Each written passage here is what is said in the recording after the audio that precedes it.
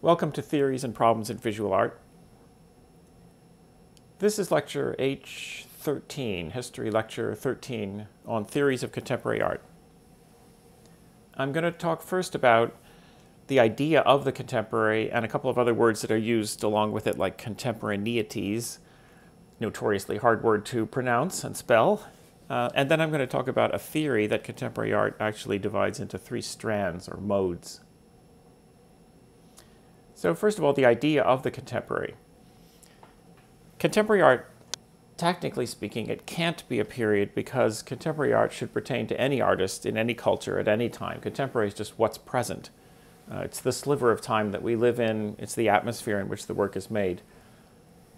But in the art world, contemporary art has increasingly seen, been seen as something that comes after postmodernism, as if it's the beginning of a new period all the many institutions with the word contemporary in their names, the contemporary art museums, uh, are evidence of this idea that they represent something, that they'll exhibit something that's after postmodernism.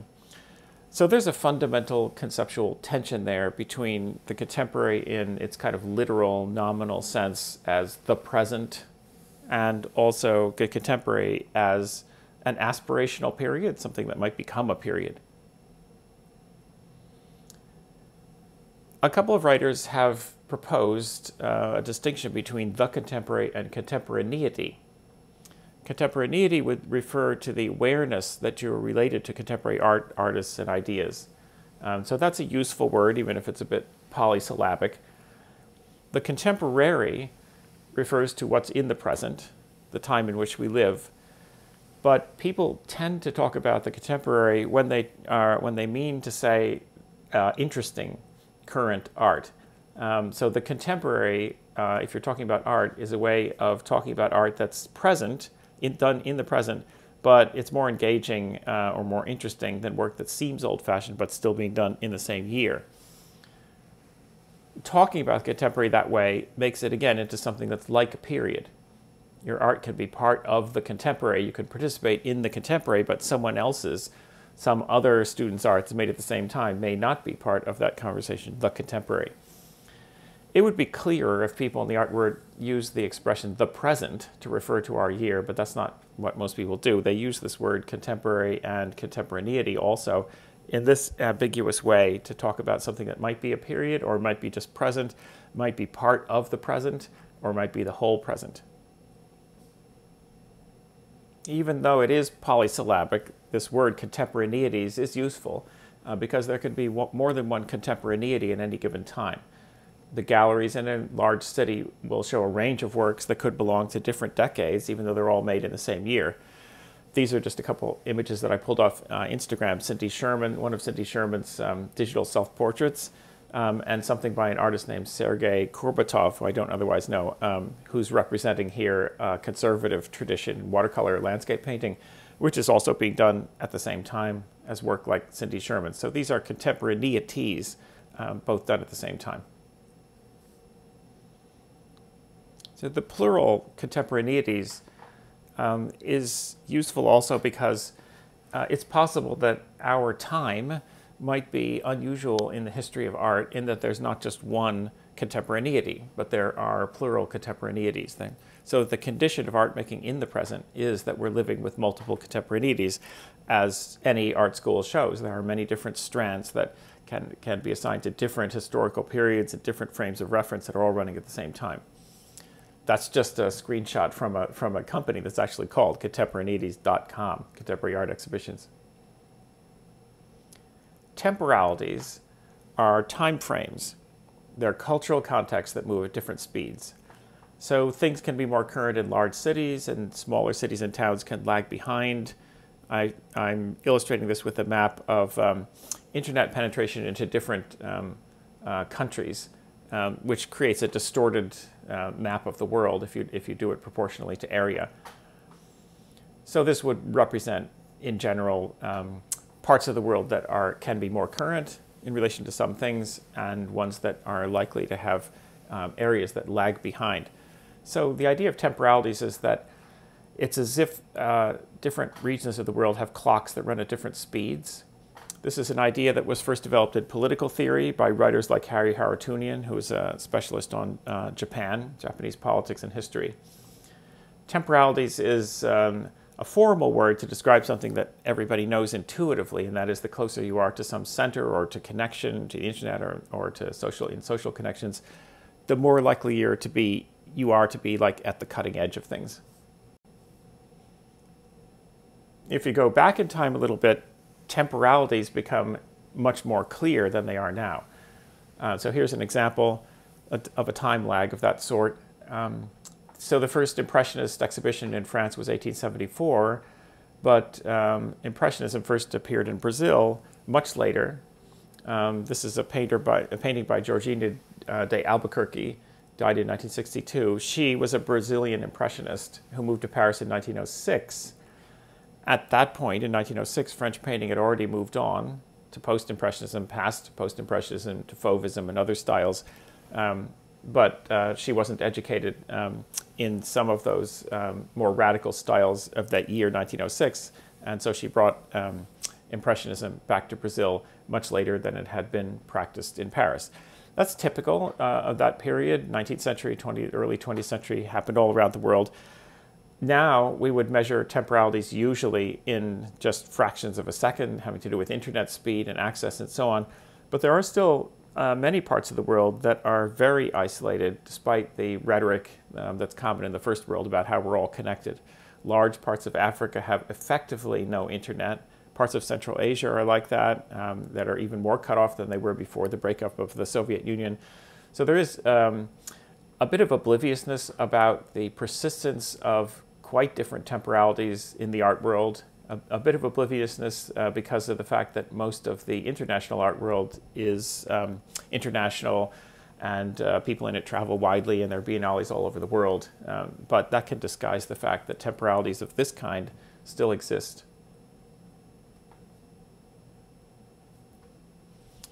These different temporalities of the, of the more of the stronger kind were around until the end of the 20th century and they are vanishing. Um, but at the same time, they continue to exist in the present, and it's something that's not acknowledged as much by the art world as it is by um, art historians, anthropologists, and others um, who travel outside art world circles. So, uh, three strands of contemporary art. This is a theory uh, that was proposed by the Australian art historian Terry Smith. Um, he's also the author of probably the most widely read attempt to define the contemporary, which is mostly in this book, What is Contemporary Art from 2009.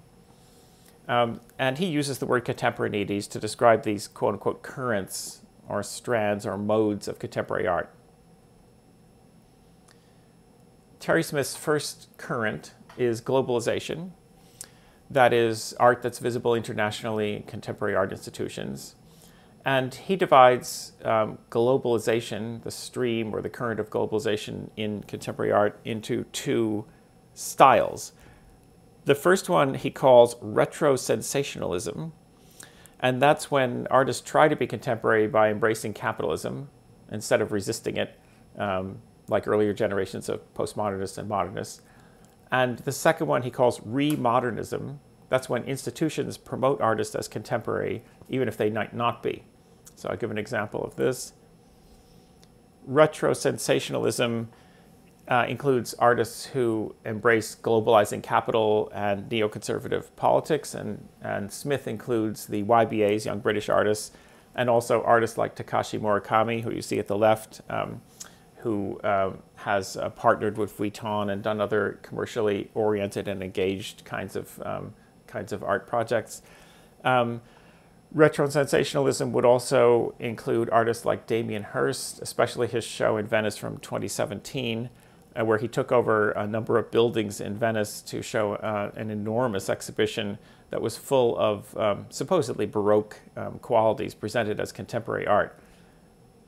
That's the, that's the bottom part of a, of a colossal bronze statue that was the centerpiece of um, Damien Hirst's exhibition, and it, it has this Baroque quality of monumentality. He had a number of large uh, sculptures in it, and so that those are also Baroque quality, scale, dynamic composition. These are, these are qualities that you could read in your art history textbook about the Baroque. And um, Damien Hirst's project here is retro sensationalist, um, partly because uh, retro modernist, retro sensationalist, because it um, embraces these and tries to bring them up into the 21st century. At the same time, it's very um, commercial, so it fits Terry Smith's um, uh, definition. Some other, a couple of other scenes from that uh, exhibition. In the Baroque, in the 17th and 18th century, there was also um, a growing fascination with natural processes, uh, natural history, um, and uh, in this case, decay and uh, uh, of, of sculptures that were supposedly found at the bottom of the ocean. And it's also very Baroque to be interested in drama and theater. I think I should say that none of these qualities that I've just been naming are unambiguously Baroque. They're most of them part of an idea of the Baroque that can be found in 20th century art history textbooks. So actually, Damien Hirst is influenced directly or indirectly by 20th century art history textbooks more than he is by the Baroque. But that's not important to Terry Smith's classification because this is retro modernist in his way of, um, in his way of thinking. Um, it revives an earlier style and represents it as something that belongs to the contemporary, and at the same time, it's deeply engaged with capitalism and marketing. The second quote unquote style of globalization is remodernism. And Terry Smith describes that as, quote, the constant efforts of contemporary art museums to renovate or revive modernist art. For example, Richard Serra, Gerhard Richter, who you see at the left, doing one of his abstract paintings by dragging a board across his canvas, uh, and Jeff Wall. So these are artists of a particular generation uh, that are repeatedly recanonized as contemporary artists. Art in this current quote comes across as late modern art that is half aware of its conservatism and quote continues to pursue the key drivers of modernist art, reflexivity and avant-garde experimentality, I like the idea that it's half aware, people like Richard Serra, um, aware of the fact that they are modernist icons, that they were that way um, in the 70s um, and 80s um, in the 20th century, um, and that now they've been recanonized, repeatedly recanonized um, as contemporary uh, in Terry Smith's way of thinking about things. He says that art of this kind has to be, quote, relentlessly presented as contemporary in order to work. The second current, he says, emerges from the process of decolonization within what were the second, third, and fourth worlds, including its impacts in what was the first world. It has not coalesced into an overall art movement or two or three broad ones. Rather, the post-colonial turn has generated a plethora of art shaped by local, national, anti-colonial, independent values, diversity, identity, critique, and it has enormous international currency, through travelers, expatriates, new markets, and especially biennales. And here he names uh, a number of artists. Um, I've written down some of them there.